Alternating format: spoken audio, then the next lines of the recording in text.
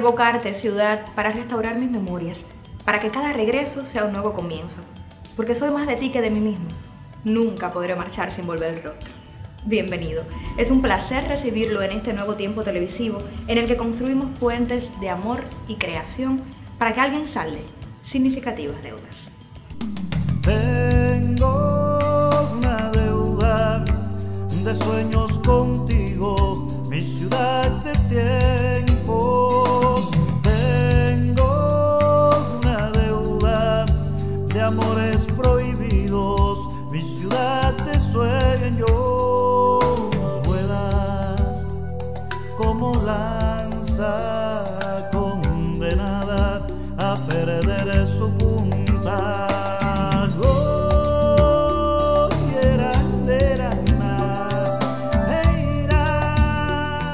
Hoy llegamos hasta el hogar de una persona natural de Manzanillo, amigo de los amigos, a quien no le pueden faltar el café en las mañanas, el amor de su madre y su hijo y el disfrute de una victoria del Barcelona Fútbol Club. ¿Usted quiere saber de quién se trata?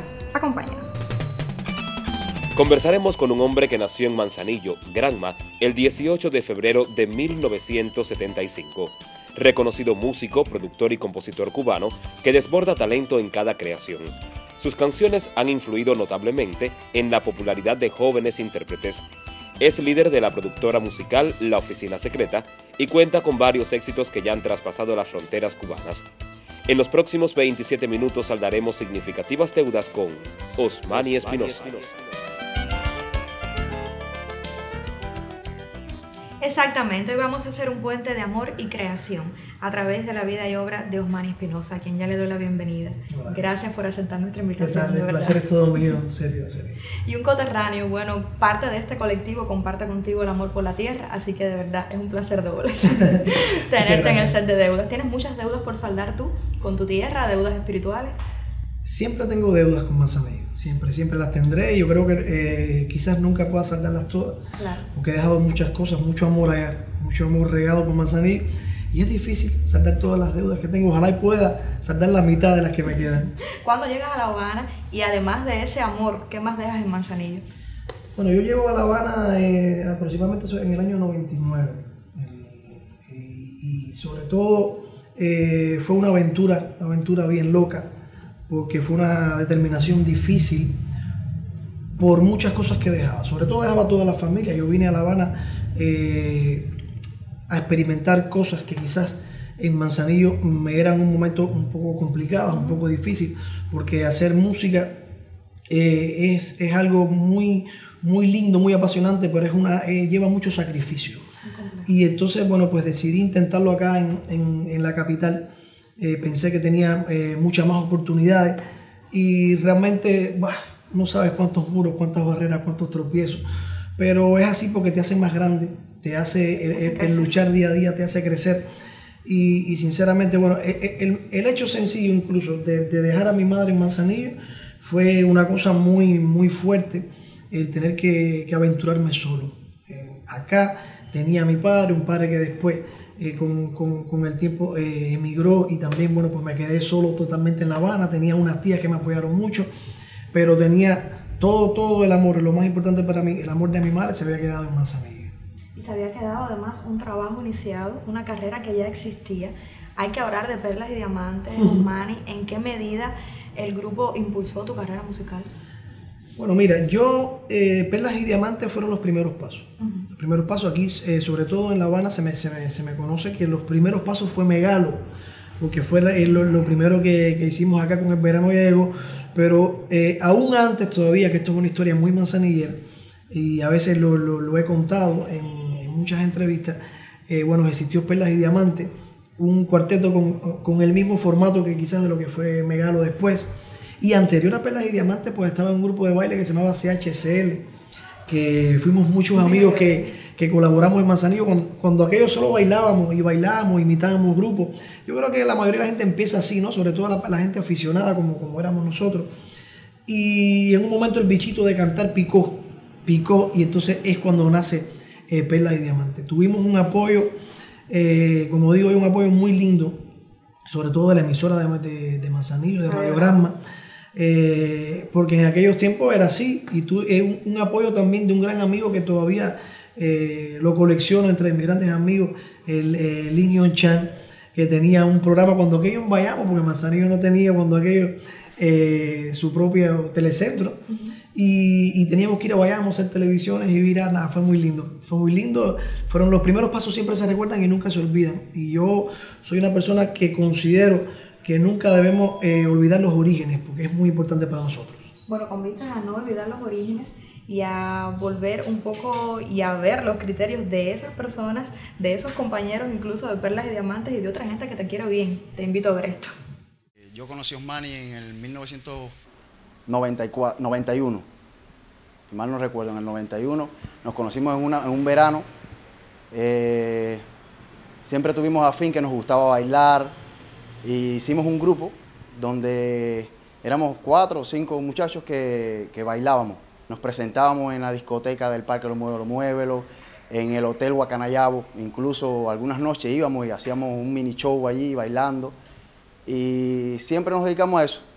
Eh, ya desde este tiempo él tenía las inquietudes de hacer un grupo musical, un grupo de música pop, que era lo que le gustaba a él. Y siempre estuvimos eso, haciendo coreografías para bailar y presentándonos en un lugar, en otro. Salíamos, él vivía en el ICP, un barrio que estaba bastante alejado del centro del pueblo. Y a veces él venía y ya era, le cogía tarde, tenía que quedarse en mi casa a dormir. Y la mamá lo llamaba, lo venía a buscar a veces.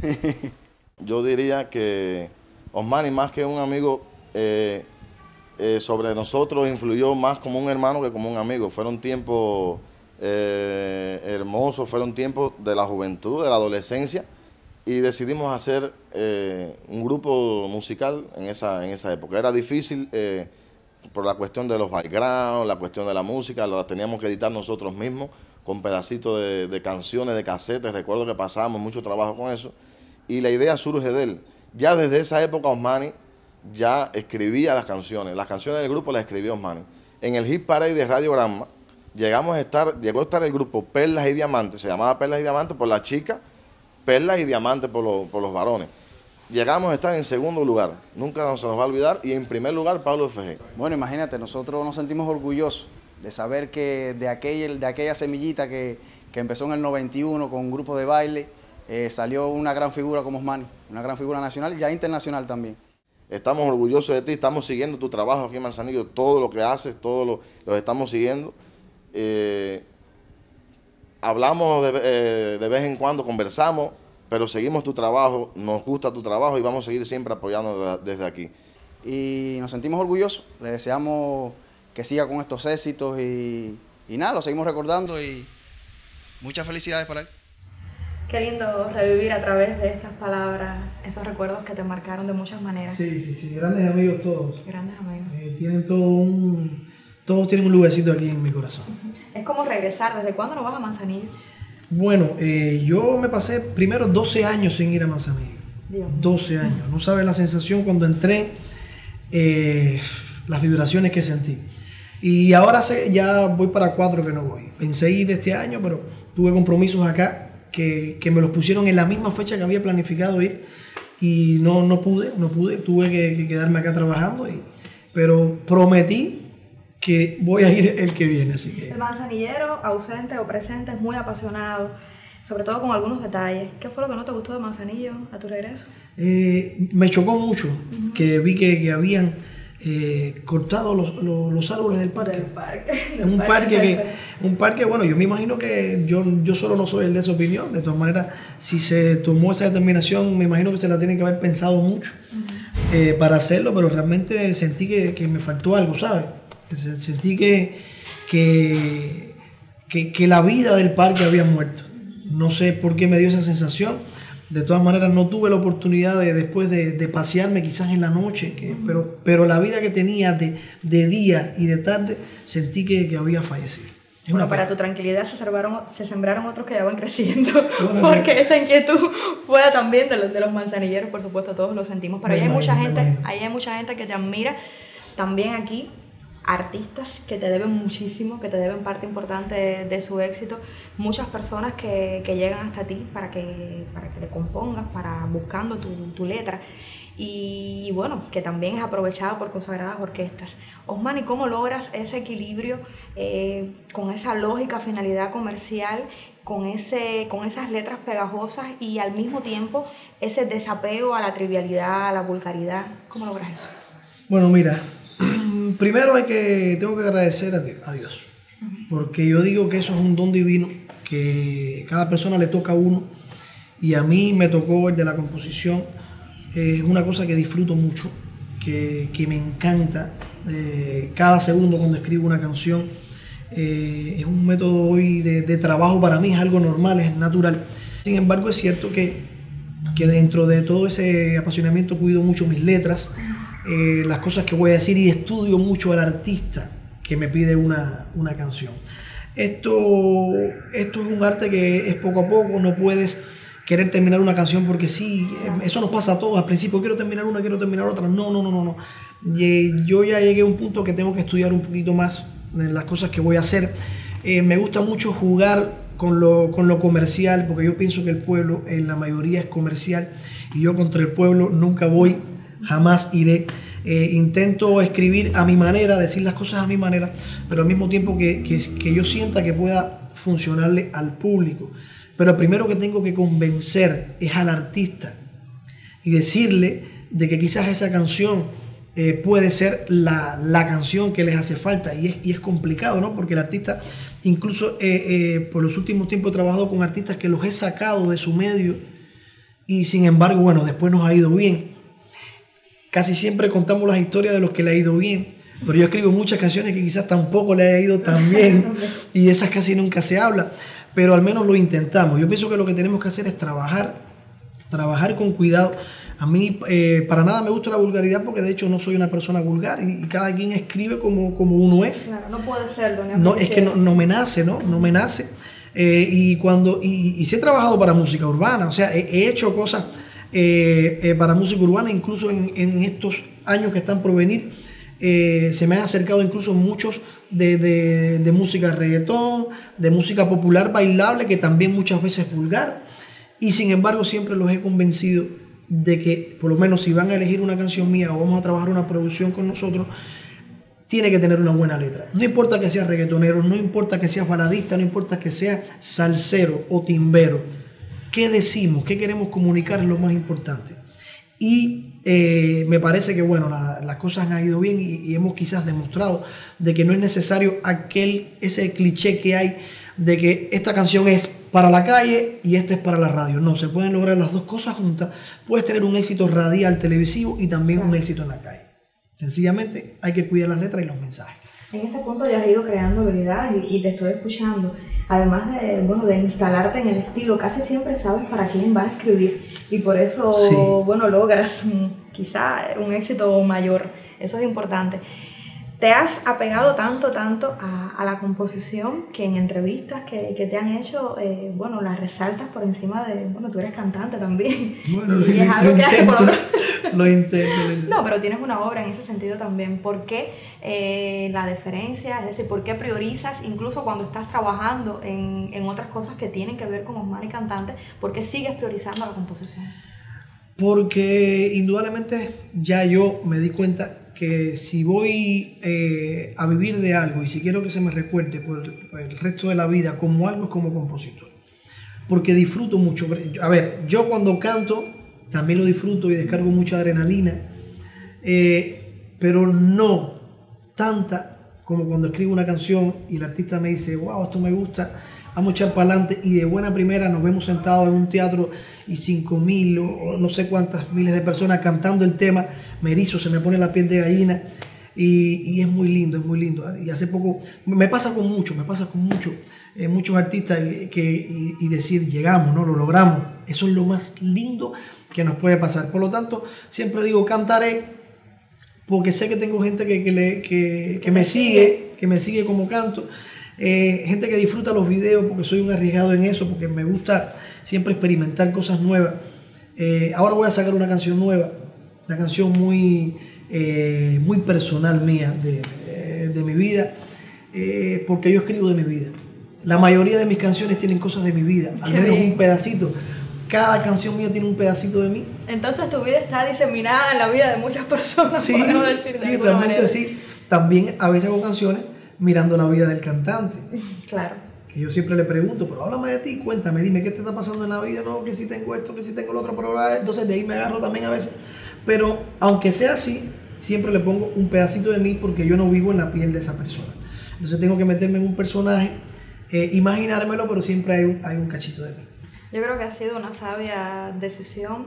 Con Osmani Espinosa hay un fenómeno que no ocurre con todos los compositores, es decir, la gente identifica al intérprete, relaciona la canción con el intérprete, pero Osmani Espinosa siempre está ahí, es decir, la gente sabe que el éxito depende también en gran medida de, de quién se apodera del tema, pero Osmani Espinosa siempre está presente, la gente sabe cuáles son todos tus temas, quiénes los interpretan, Increíble, y yo creo que, que eso, bueno, hay que reconocerlo y te debe hacer sentir mucha satisfacción. Una bendición, es una, una bendición y, y voy por la calle porque aparte yo me considero una persona muy sociable, eh, soy de los que reparto besos donde quiera que voy, donde quiera que me paren, saludo a todo el mundo, porque soy así, o sea, no es por, no es por nada, es que, es que me nace ser así. Y la gente me da su cariño, que eso es importante. Me da su cariño, yo in- incluso sabes, en Facebook, muchos artistas, muchos, eh, la página quizás se lo lleva otra gente y muchos quizás ni contesten. No, yo contesto, yo me, me doy la tarea de contestarle a todo el que Me pueda. consta, muy atento. A todo el que pueda y me escribe gente que no conozco. Tengo grandes, grandes amigos de Facebook porque no nos conocemos y tenemos amistad. O sea, me, es mi manera de ser. O sea, mi manera de ser, soy amigable y eso, eso con esa empatía quizás con el pueblo, por eso es que trabajo para él, para ese pueblo. Por eso es que me gusta sentirme en un vínculo total con ellos y, y- y eso me, me ayuda mucho para escribir canciones. ¿Qué te parece si vemos cómo retribuye ese cariño, sobre todo las personas que han tenido en algún momento tu talento en sus labios? Mira. Bueno, Osmani lo conocí hace unos cuantos años. Realmente coincidíamos en, en algún que otro programa de televisión, pero nunca habíamos tenido ese vínculo personal. Y luego a través de un amigo que tenemos en común, pues bueno, él fue quien nos conectó, porque Osmani tenía un tema pensado para mí, eh, fue el tema Tienes que arrancarme la piel. Y la verdad que bueno, a partir de ahí ha sido mágico trabajar con Osmani, mi carrera eh, dio un despegue importante, sobre todo a partir de ese tema. Y, y Osmani, ¿qué te puedo decir? Osmani lo quiero muchísimo, él lo sabe, lo sabe su familia y bueno, y le deseo todas las cosas buenas que se puedan desear a un buen amigo. ¿Alguna anécdota de las que he tenido con él? Bueno, eh, Osmani siempre ha estado trabajando. Cada vez que llegaba a su casa siempre estaba frente a la máquina trabajando. Y, y eso, bueno, se lo he mirado siempre. Pero una de las cosas que me ha sucedido con él es que en ocasiones que he estado un poco de bajón, como decimos nosotros, o, o con algún problema, alguna preocupación, y él como que se ha basado un poquitico a veces en ese pequeño problema que luego hemos, hemos comentado y, y de ahí ha surgido una canción que luego he tenido la suerte de interpretar y bueno, eso ha sido una de las cosas que, que también han fortalecido nuestros vínculos de amistad y, y de trabajo también. No, yo me, o sea, supe que era manzanillero cuando empezamos a conocernos, de hecho yo a veces le digo, oye, Guajiro, pero, pero la verdad es que no, no se le nota mucho.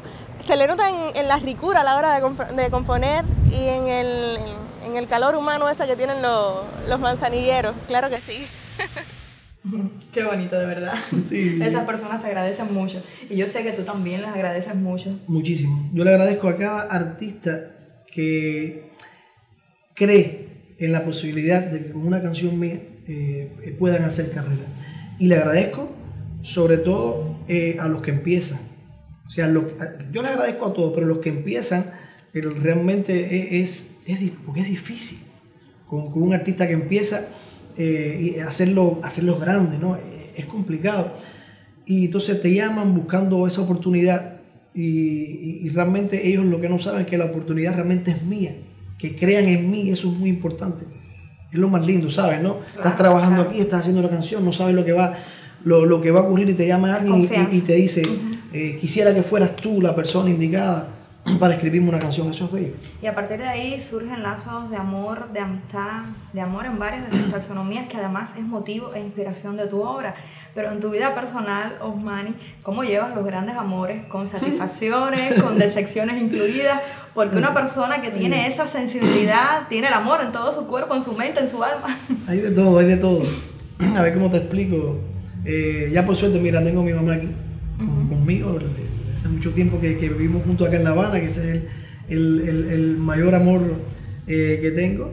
Y bueno, nada, en- por- estos tiempos, mira, hay una canción que voy a escribir, eh, bueno, que, que ya está escrita, que, que voy a estar lanzando, que va a ser mi próximo videoclip, que, que- se titula Ahora soy, Ahora soy del viento. Ahora se Entonces, yo creo que esa frase lo dice todo, ¿no? Ahora soy del viento. Eh, ahora soy del aire, ahora soy del viento. Ahora soy de donde la brisa le dé por soltar mi cuerpo. Entonces, realmente estoy en un periodo de mi vida que, que sobre todo es muy importante y siempre se lo digo, eh, porque aparte siempre me, me ha caracterizado esta, esta manera de vivir, porque yo creo en, ese, en, en- en esa, en esa forma de vida, ¿no? Y, y es sencillamente eso, vivir. Uno tiene que experimentar, probar. Uno tiene que soñar, volar, flotar. Uno incluso lo necesito para escribir. Uno no puede, eh, no soy de esas personas que, eh, que se ata, que se amarra. No, no, no me gusta, no me gusta estar atado, no me gusta estar amarrado. Eh, por eso es que eh, soy del viento, ¿no? Más o menos te lo, te lo explico así. Porque cada día es una aventura y hay que vivirla. No importa no importa cómo te acuestes, cuando te despiertes, no importa lo que va a pasar. Uno tiene que, que echar siempre para adelante y siempre soñar. Bueno, si eres un hombre de aventuras, vamos a aventurarnos. Hay un tema que da, que da nombre además a un proyecto de disco que has tenido que, que postergar en algún momento por tu labor como compositor. Y yo quisiera que nos regalaras un pedacito del amor invisible, ese amor que tienes para dar, que no es invisible, que se ve de muchas maneras. Bueno, tú sabes, es, es- es una canción de, eh, tú sabes, de amores escondidos. sí. Amores escondidos. ¿Tienes algún amor escondido? Sí, quizás. Entonces, eh, el tema dice, con este amor invisible, cada día más imposible y que sobrevive oculto en la oscuridad. Más o menos. Gracias. Es algo, es, algo, es, es un tema, es un tema polémico. Sí, es un tema sí, polémico. pudiéramos o sea, estar hablando Sí, pero- 27 minutos sí, más. Sí, pero, pero yo tengo muchos temas polémicos, sobre todo la canita al aire también es un tema muy polémico. también, también. Pero e- esa es mi carrera, es así. Hay, hay canciones que gustan más, otras que gustan menos. Y hay canciones que son polémicas. De eso se trata. Sobre Vamos a todo. aprovechar esa polémica, Osmani, porque tenemos una sección, llegando ya a los minutos finales del programa, que hemos dado en llamar en blanco y negro, para que nuestros invitados nos contesten a sí mismos, sin cortapisas ni paños tibios.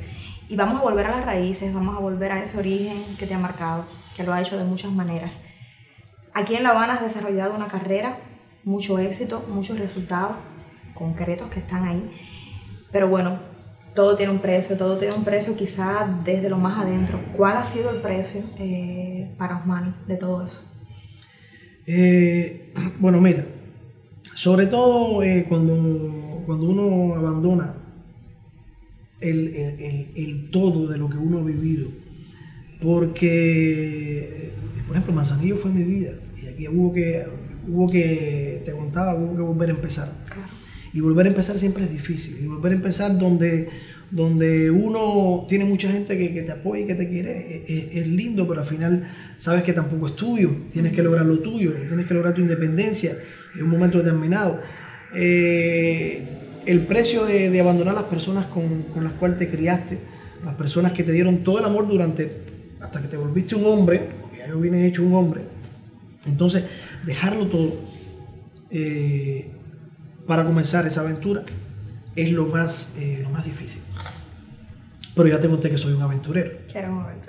Y a mí me encantan las aventuras y ponerme metas todavía me las estoy poniendo. Yo pienso que, que a pesar de, de- de todas esas cosas lindas que, que hemos hablado aquí, yo pienso que todavía eh, no he llegado. Yo pienso que estoy empezando. Ojalá y no haya escrito eh, todavía mi mayor canción, que esté por descubrirse todavía, porque eso me impulsa día a día a saber que tengo nuevas metas y nuevas cosas por lograr. El precio es así, y si el precio eh, mañana no creo que ya donde estoy establecido, sí me marqué que nunca lo voy a abandonar. Porque para mí es muy importante todo esto que he logrado. Y ahora sí tengo, ahora sí tengo mucha gente alrededor que no es que sean dependientes de mí, pero quizás necesiten un poquito del amor ese que yo les doy. Y por lo tanto, eh, ya eso no se puede abandonar. Eso es un impulso. Pero hay nuevas metas. Y nuevas nuevos- deudas. Y nuevas deudas y hay nuevos caminos por caminar. Eso es importante, porque después que nos eh, estancamos, entonces yo pienso que ahí mismo ya la vida deja de tener sentido. Siempre tenemos que buscar y buscar y buscar, porque somos seres humanos y lo queremos así. No ambicionando. Cuando te hablo de esto no te hablo de, ni de cosas materiales ni de nada de eso. Te hablo de metas, de sueños por realizar. Todos deberíamos pensar así. No solamente yo. Cada persona siempre tiene que poner nuevas metas y como siempre digo a todos mis amigos, visualizarlas. Tú tienes que creer que lo vas a lograr. Enfocarse, bueno, yo te deseo, Y lo vas a lograr. Te deseo de verdad muchísimos éxitos en esa búsqueda. Yo sé qué capacidad hay, sé qué talento hay y este pueblo te admira mucho. Como idea conclusiva, muy rapidito, en pocas palabras, cuando piensas en Manzanillo, ¿en qué piensas? Pienso eh, en que la mitad de mí está allí todavía. Todavía estoy. todavía está ahí. Yo me siento eh, manzanillero, siempre lo he dicho. El- mucha gente eh, ya no me asimila de manzanillo, sobre todo los que hemos empezado, eh, empezaron en mi vida a raíz de, de la parte habanera que tengo, porque la Habana me ha dado mucho y, hay que saber también pues, pues aceptar eso. Pero uno sabe lo que uno ama manzanillo, sobre todo cuando le falta manzanillo. Y, y hay una parte de mí que está allá. Y hoy te hemos tenido aquí completo, porque esa mitad la raptamos, nos la robamos y la trajimos para acá y la sentamos aquí. Y hemos configurado un todo que de verdad ha sido muy bueno, muy gratificante, muy enriquecedor tenerte en esta misión de deudas y nos seguiremos viendo en otras placer, oportunidades. placer, gracias de verdad gracias por recibirnos en tu casa y por, por haber compartido este tiempo. Tengo